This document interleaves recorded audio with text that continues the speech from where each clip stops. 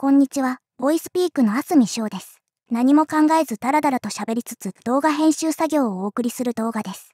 30分くらいやって48秒くらいの動画ができました。何も考えずに始めるので、下準備もしていないからですね。台本何それ美味しいの？ってやつです。あ、ちなみに今回は作業動画を作るという名目でやっているので、本当に新規プロジェクトから始めてみています。動画サイズを1920にしたかったけれど、入力間違ってる。いつもは1280でやっているから正確な数字を覚えてなかったみたいですね。録画範囲を決めようかと思ったけれど、フルスクリーンにすればいいやって気づくのず。こういう動画の時しか私の出番がないんですよね。後ろでは AI ボイスの人が待機しているけれど、やっぱりこっちかって感じで白羽の矢が当たりました。レコってスタジオ連携でやっているから行ったり来たりしなくて済むからね。公式立ち絵が好きだから専用ファイルもくっついてきているし。まあ制服版のはちょっと待ちましたけど、見つからなかった。節穴さんめ。蓮見塩ボイスでレコスタ仕事猫でもいいかって一瞬思ったのず。やっと見つけました。次は音声連携でボイスピークを選びましょう。上から2番目にあります。次は話者名を入力しますが、最近はここを飛ばすことが増えました。まあ今回はちゃんと入力しましょう。ちなみに単語登録していないので、あやすみって入力変換しています。そして字幕を選ぶのですが、新規作成なのでいつもの字幕ファイルが入っていません。さらに字幕を表示するようなレイヤーも名前を変更していなかった。とりあえずそこは飛ばして作成しましょう。はい、ボイスピークあすみしおが起動しました。そして字幕レイヤーを準備しまして、これを作っておくとイラッとしなくて済む、と思います。次は字幕ファイルを設定しましょう。これは新規作成しても引き継いでくれてると楽なんですけどね。まあ、テンプレートファイルを作って使い回せばいいと思います。字幕ファイルが入ったかな？あったあった。で、フォントが今のと違いますね。いつ変更したんだろう？全然覚えていないや。はい、それでは話者レイヤーでの字幕設定をやりまして、これで完成。あと音声ファイルのフォルダを選んでおいて、と、普段はテンプレート使い回しだからやらないんですけどね。ふっと思ったけれど、似たような動画を作っていませんでしたっけ？みのりちゃんのマリメニ実況を編集している時の動画。まあいいか。次は私の小姉の設定ですね。どこまで数値を加えてみればいいのか、とりあえず参考値を入れてみよう。最初は速さを適当にしてみた。でもここで順番が覚えている通りじゃないって気づいた模様。参考値を書いたメモ帳を確認しています。少々お待ちください。このあたりも本体で設定していると反映されるのかな？まだ試したことないからわかんないや。ちなみにこちらもやっぱりテンプレートを作っておくといいと思います。新規作成だとまた最初から設定し直しですので。あ、やっと見つけたようですね。ピッチって高さのことだっけ？とりあえず参考値を入れておこう。多分高すぎる気がする。ポーズって文末の空白時間のことかな。じゃあ最低値で。と思ったけれど87にしてみる。次が音量。ちょっと大きめにしてみよう。まあこれが調整するときに参考にしている数値ですね。超声って読んじゃうから訂正したけれど、アクセント、イントネーションがわからなくなっちゃった。本体に登録してなかったっけ？で見てみたらスイッチしか入れてなかったの草。とりあえず挨拶で確認してみましょう。キーボードの入力ミスが多いボイスプ。ボイスピ。配置がなかなか覚えられない。実地さ。あ、そうか。動画のサイズが普段より大きめだからか。倍くらいにしておこう。このフォントだと私っぽくない感じもするな。こんな感じかな。それでは音声を出力してみよう。チェック。こんにちは。ボイスピークのあすみしょうです。ものすごい違和感。やっぱりちょっと早すぎたか。あと高さも違うね。デフォルトでいい感じだと思うんだよね。こんにちは。ボイスピークのあすみしょうです。やっぱり早い。じゃあこんな感じでどうかな。こんにちは。ボイスピークのあすみしょうです。速さはこれでいいかな。あとは高さ。こんにちは。ボイスピークのあすみしょうです。うん。やっぱりこれ。こんにちは。ボイスピークのあすみしょうです。なんか違う。こんにちは。ボイスピークのあすみしょうです。違う。デフォルトでいいってわかってるけど他も試したい。こんにちは。ボイスピークのあすみしょうです。こんにちは。ボイスピークのあすみしょうです。こんにちは。ボイスピークのあすみしょうです。やっぱりこれですね。使ったことがない感情値。こんにちは。ボイスピークのあすみしおです。違う。こんに、ボイス、こんにちは。ボイスピークのあすみしおです。欲しい。こんにちは。ボイスピークのあすみしおです。うん、やっぱりこれですね。それでは音声の更新をしておきましょう。再生。こんにちは。ボイスピークのあすみしおです。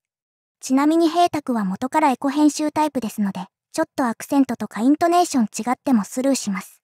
ポーズってここのことじゃなかったか。こんにちは。ボイスピークのあすみしおです。ここの数値、手入力できないのちょっと不便。こんにちは、ボイスピークのあすみしょうです。うん、これでいいかな。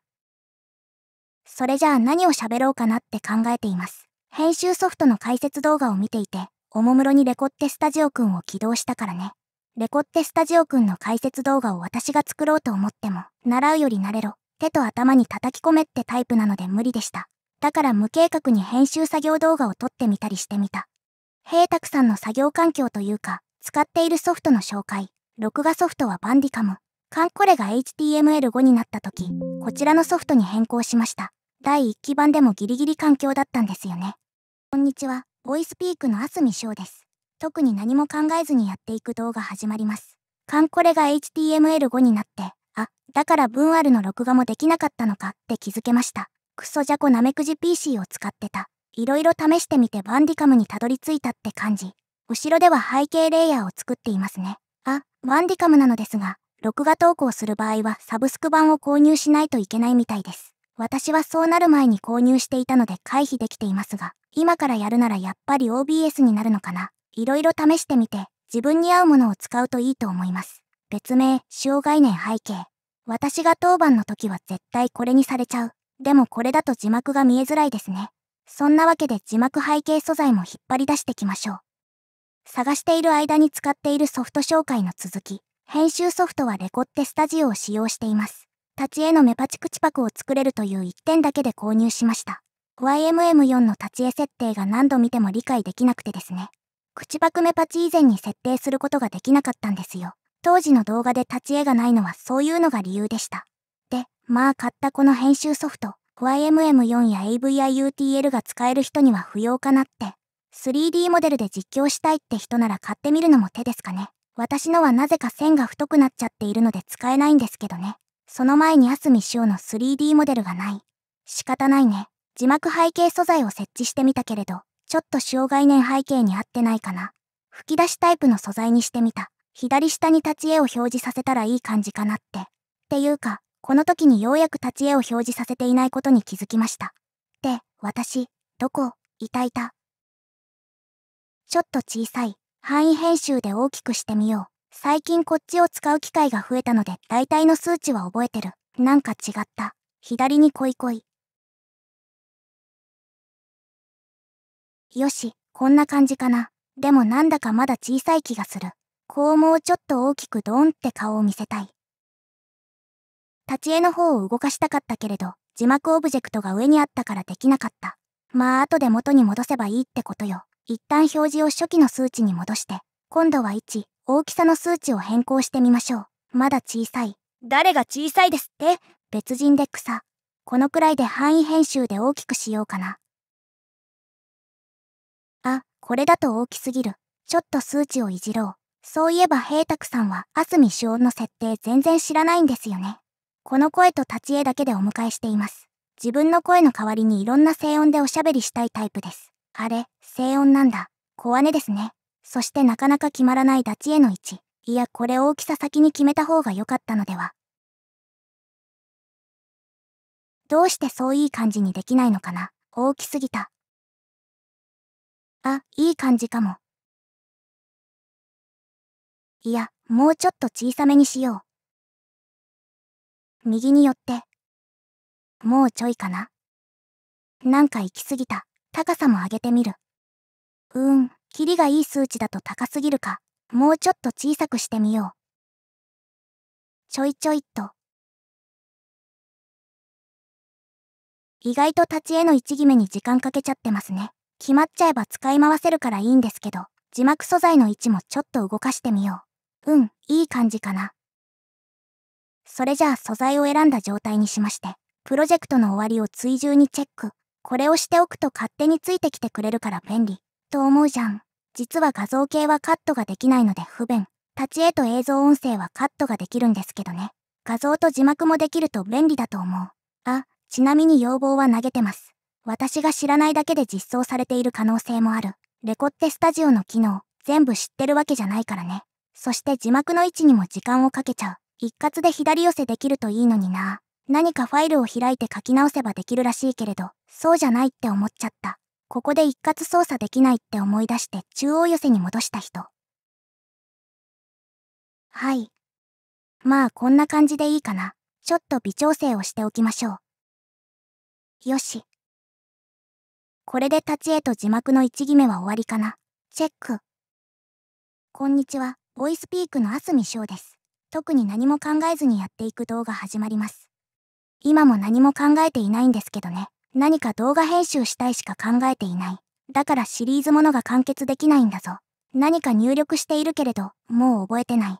動画編集実況だ、これ。できたかな？あ、ちょっと長すぎた。文字を小さくしてみよう。よし。音声出力。います。少しは考えた方がいいと私は思ったりしますが。わかる。それな。脳内でこんな感じの会話してるんですよね。でもいざ編集でそれを出力しようとするとできない。消せぬ。あ、プロジェクトを保存していないことに気づいたので保存しましょう。タイトルは適当です。ダラランってつけてれば平卓の動画だって分かってもらえるかなって。ダラランが多すぎて本人もよくどのシリーズか分からなくなっちゃうけど。こんな感じかな。テンプレート作ってそれで編集していると、たまに上書きしちゃって泣いてる。ここまで決まってしまえばあとは思うまま入力するだけです。まあそれが一番のネックだったりするんですが、脳内にうまく私たち読み上げソフトたちが入っていないと、平沢さんの自我が入っちゃって違うこの子はそんなこと言わないって脳内で喧嘩してる。長文をつ。字幕の通り、昨夜録画したゲーム動画を映像レイヤーに載せましょう。ちなみに一番使いたかった録画データは、寝落ちしたため8時間録画した状態になってました。当然ゲームオーバー真っ黒画面。即削除しました。そんなわけで中途半端に録画したデータを使います。動画編集作業動画を作りたいだけですからね。ちなみに新しくお迎えした読み上げソフトで何か実況動画作りたいって思ってて、コードネームと黒スーツに合うゲームないかなって探していました。さすがにスイッチだと厳しいかな。で、手持ちのソフトでやれるかな。って思ったソフトを再ダウンロードしてました。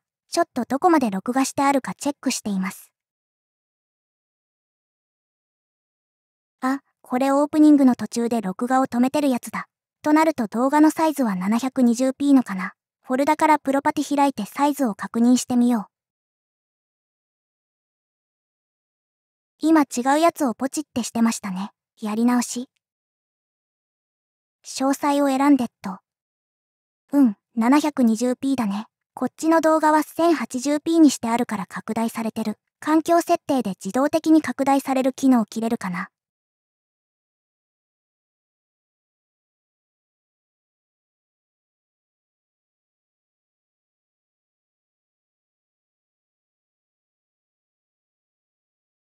ないみたい。仕方ない。1、大きさで修正しよう。なんで横位置がずれてるんだろう。元に戻してっと。うわ、ちっさ。これちょっと拡大しても映像ぼやけたりしないかな。まあ本採用じゃないんだけれど、それでも試しておきたい。720p って小さいんだなって思っちゃった。でも平沢さんの PC スペックだと 1080p ちゃんと録画できるかわからないんですよね。また後でお試し録画をしておこうかな。中央にバシッと置きたいんだけれどなんだか決まらない。これ立ち絵と字幕背景が邪魔をしてるな。それでもなんとかならないかと地道に頑張るのず。手入力で変更してみた。1080の半分だからって安直な考え。暗算できないくせに暗算で答えを出そうとしている人の図。素直に電卓を使ってもろて。兆候。これ考えるのやめてないですか？と思ったら入力してた。めちゃくちゃ違ってる。スタート地点の数値なんだから当然といえば当然。まだ粘ろうとしている。ここでスマホの電卓機能を使うことに気づきました。でもスタート地点ってことに気づいてないのでダメです。正解は立ち絵と字幕背景を一旦消してしまうことなんですよね。間違いに気づいていない人の操作をしばし観察ください。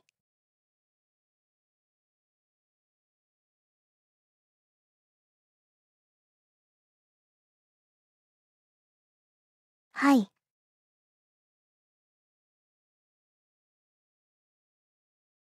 さらに半分って計算して入力してました。なんだか違うって思って強引に中央寄せにしようとしていますね。そしてやっと気づいた模様。非表示にしてみた。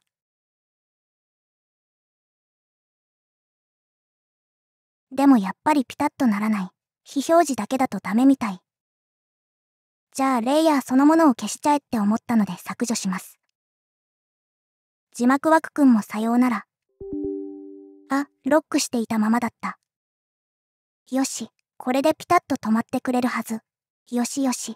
それじゃあ現在の位置をメモっておきまして、先ほど削除したレイヤーを元に戻すで元に戻しましょう。そしてメモした数値を入力して完成です。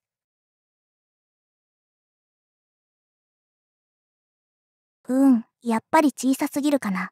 ゲーム録画の方を少し大きくしてみよう。ぼやけちゃうだろうけれど、動画編集実況動画だから別にいいかな。過去2回の動画も結局は全部作り直してるし、でもとりあえずこのサイズでいいか確認しています。ちょっと物足りないって分かっているんだけどね。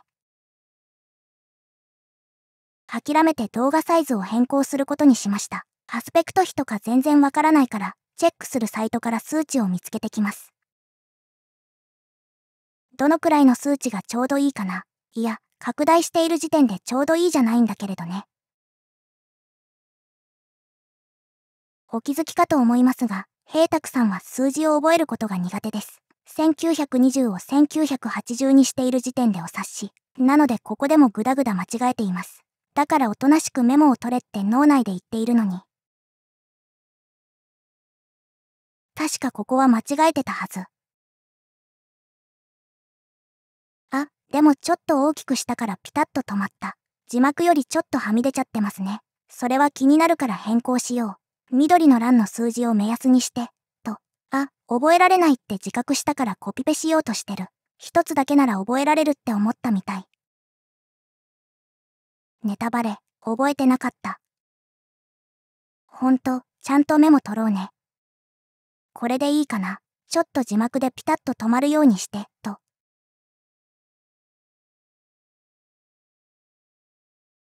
うん、いい感じかな。ここまでノーカット。18分かけて未だにセリフ入力までいけてない。ちょっとノープランすぎたかな。多分ここは画質がどんな感じだろうって見てみてるんだと思います。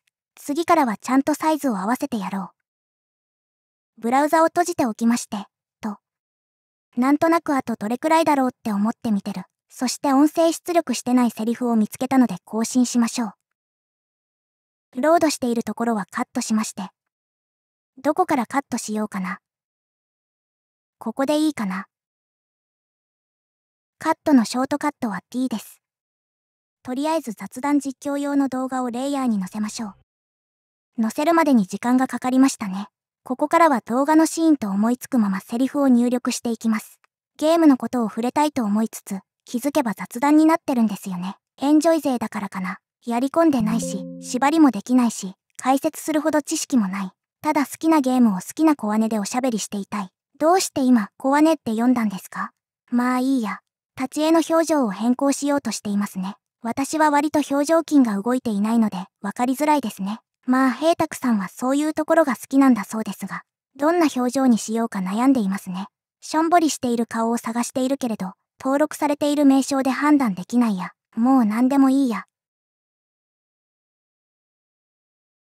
さっきの表情は違うかな。あわあわってやつにしてみました。どんどんセリフを入力していきましょう。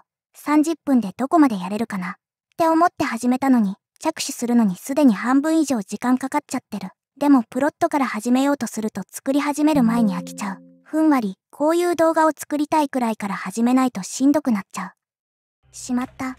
動画。しまったの小姉が違ったので調整します。このくらいならわかりやすいんですけどね。しまった。動画のサイズが違ってる。当店も変更。しまった、動画のサイズが違ってる。これでいいかな。この時は語尾もなんか違う気がして変更してみてました。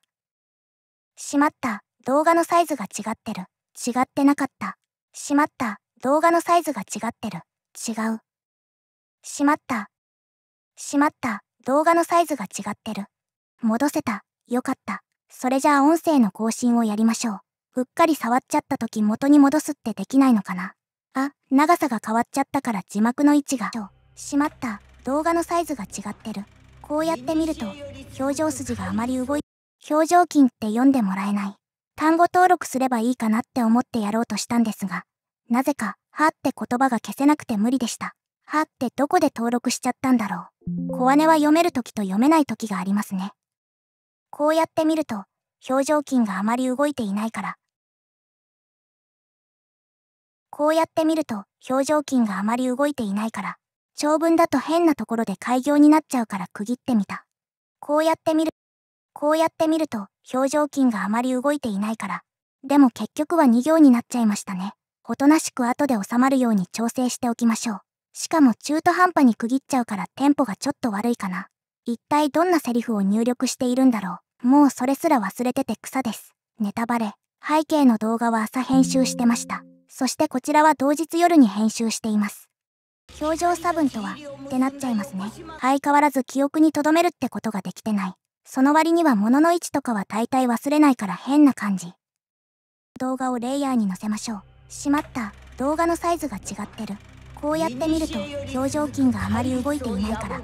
表情ゲームの方の音量が大きいかな。緑の応線から飛び出てないかチェック。なんだか結構ギリギリっぽい。もう少し音量を下げてみようあまり下げすぎると聞こえないかもしれないけれど今回はわざとセリフ中に喋らせてるけれど、できる限りそういう時は静かにしていく方針です。戦闘中とかはゲーム音量の方を下げちゃうかな。動画編集歴は長いのに、そういうことは気にしてなかったから勉強中です。あ、すみません。当店の長さを変更。チェック。とは、ってなっちゃいますね。あ、すみません。いい感じかな。それじゃあどんどんセリフを入力していこう。と言っても一つ一つ音声出力はやっていきますけどね。脳台本だから前後のことを考えずに入力していってます。ある意味リアルタイム脊髄反射。あっちこっち話題が飛んじゃう。誤変換じゃないんだけれど、使いたい漢字が結構奥の方にあるんですよね。使ったことがない漢字が最初の方にあったりとか、あれってなんでだろう。そういえば平沢さんが会社のパソコンで、通って入力した時、刀剣乱舞て出て机に突っ伏したことがありました。単語情報を送信しちゃったんだろうなって、気をつけましょうね。歯とキャラの名前も予測変換で出てきて、机に突っ伏してる人がいました。まあ、それくらいならセーフですよね。後で文字入力の予測変換もモザイクを入れておこう。正直、この予測変換を非表示にしたい。表示されないようにするやり方知っている方がいたら教えてください。あとこれ、歯が消えないんですけど。テストと作業を録画しているようなので。単語登録使っていなかったから全然気づいてなかった。レコってスタジオ連携と本体からの入力。どっちがやりやすいんでしょうね。テストと作業を録画しているようなので、なんか変なセリフでしたね。テストと作業を録画しているようなので、ものが正解かな。テストと作業、テストと作業を録画しているようなので。テス、テストと作業を録画しているようなので、読み上げさせて気づく入力ミスってありますよね。テ、テストと作業を録画しているようなので、ああ、言おうが、テストと、テストと作業を録画しているようなので、打ち間違いじゃなくて、用のイントネーション、アクセントが違うみたい。こうなっちゃうと自分でもわからなくなるから諦めよう。当店で区切ったところの余白が気になる。でもセリフ音声のカットはできません。なのでオブジェクトの長さで調整しましょう。横サイズを広げて音がないところを選びます。ここでいいかな。うん。なんか最後の方をつかめない。なぜ？ダメっぽいですね。仕方ない。横サイズを元に戻しましょう。つかめた。クイーッと動かして。音声を更新するとまた元の長さに戻っちゃうからロックをかけておこう。これでよし。あ、すみません。テストと作業を録画しているようなので、喋っているシーンでも構わずおしゃべりしていきます。やっぱり、用が変。まあ、この辺りは慣れるしかないかな。なんとなくでやっているからね。セリフをどんどん入力していきまして。思ったんだけどやっぱりフォントは今のやつに戻しておこうかな。こっちの方が私っぽい。音声の出力、チェック。用が思ったこっちも思った感じに出てなくて悲しみ、変更してみよう。用が思った感じに超声できませんでしたね。調整。どうして？読みを変更しましょう。チェック。用が思った感じに調整できませんでしたね。なんだか違う。ここを触ればちょっとは変わるかな。ここの操作は苦手です。数値を一つずつ動かしたい。費用が思った感じに調整できませんでしたね。ちなみに読み上げは動かすたびにされます。費用が思った感じに調整できませんでしたね。超声できませんでしたね。あ、なるほど。前後のセリフで読みが変わっちゃうのか。単語登録したいな。ちょっと単語登録してきたんですけれど、調整ってちゃんと出るかな調整できませんでしたね。ははどこ行ったんだろう。わからない。費用が思った感じに調整できませんでしたね。費用が思った感じに調整できませんでしたね。費用が思った、用が思った感じに調整できませんでしたね。あ、こっちもやっといい感じに調整できたみたいですね。べりしていきます。費用が思った感じに調整できませんでしたね。よしよし、エコ作業がモットーなのに、たまに諦めきれずに粘っちゃう。でも本当にたまになので、すごくこだわっている人たちってすごい。この編集作業動画は30分まで録画しているのであと少しですね。頑張れ、私。よくここまでカット倍速せずにおしゃべりしてこれましたね。偉いぞ、私。でも作業の方は1分もできていないの草。まあこっちも似たようなものですが、そろそろ他のシリーズ動画も作りたいですね。ちょっとスランプ気味なんですが、アスミ小動画を作ることで脱却していくスタイル。まあ慣れればやり方も分かってくるかな。私もゲーム雑談実況動画をやりたい。あ、カービィやってた。同じピンク同士、いつかカービィで動画を作ろうかな。ちなみに平卓さんは実況動画を投稿する際、他の方が投稿されてるとか気にしないで投稿しちゃいます。作りたいから作った。需要何それ美味しいの？って感じで毎回やってる。せめて何か完結してから作り出してもろて。相変わらず本体からセリフを作ったことはないです。同じことを言ってる。同じことを繰り返すことで尺を稼ごうとする姑息な手段。と思わせつつ、実はノープランだから覚えていないだけだったりします。はい、この話題も3回目か4回目くらいかな。姑息な尺稼ぎ。セリフポチポチ。本当に同じこと書いてる。草。あ、楽しみの感情値は割と幼い感じになりますね。でもやっぱりこっちの方が私は楽。ローテンションキャラ大好き。声もちょっと低い感じが好み。リアル寄りの思考だと多分そんな感じ。音声出力。音声の確認ボタンがあると便利だなっていつも思っちゃう。これは要望に入れてなかった気がする。まあ誰か送るでしょ。送るよね。って思ったけれど、レコってスタジオくんを使ってないと気づけないか。当店があるかチェックしてました。この辺りで録画時間が30分になりそうなことに気づきました。ゲームの録画がどこまでかチェック。セリフを入力してカットすればいいか。そんなわけで締めの挨拶を入れていきます。急げ急げ。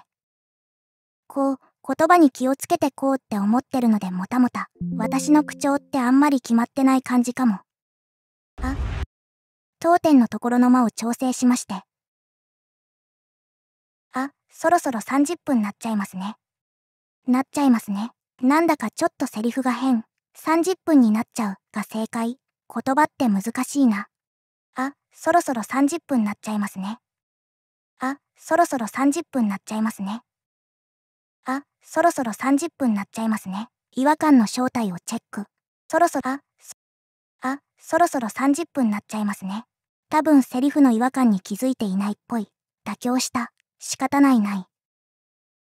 ベヨネッタもいつかはやりたいですね。やりたいゲームたくさんすぎて悩む。っていうか、こんな長い動画を最後まで見てくれる方っていないのでは。レコってスタジオくんでこうやって編集していますという等速の動画ってないなって思って作り始めたんですよね。あまり作業が進んでいないけれど、15分でどこまでできるかでやればよかった。あまり作業が進んでいないけれど、今回はここまでで。15分でどこまでやれているんだろうって見てみたら、ゲーム動画の配置で悩んでいるところでした。全然進んでない。ご視聴ありがとうございました。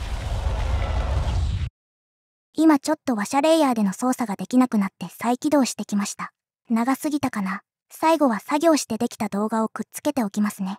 それではまたいつか。こんにちは、ボイスピークのあすみしょうです。特に何も考えずにやっていく動画始まります。少しは考えた方がいいと私は思ったりしますが、とりあえず雑談実況用の動画をレイヤーに載せましょう。しまった、動画のサイズが違ってる。こうやって見ると、表情筋があまり動いていないから、表情差分とは、ってなっちゃいますね。あ、すみません。テストと作業を録画しているようなので、喋っているシーンでも構わずおしゃべりしていきます。用が思った感じに調整できませんでしたね。まあ慣れればやり方も分かってくるかな。相変わらず本体からセリフを作ったことはないです。音声の確認ボタンがあると便利だなっていつも思っちゃう。あ、そろそろ30分になっちゃいますね。あまり作業が進んでいないけれど、今回はここまで。ご視聴ありがとうございました。